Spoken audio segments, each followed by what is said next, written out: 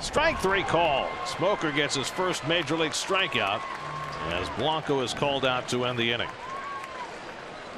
We're through seven in San Francisco, 8 2 New York.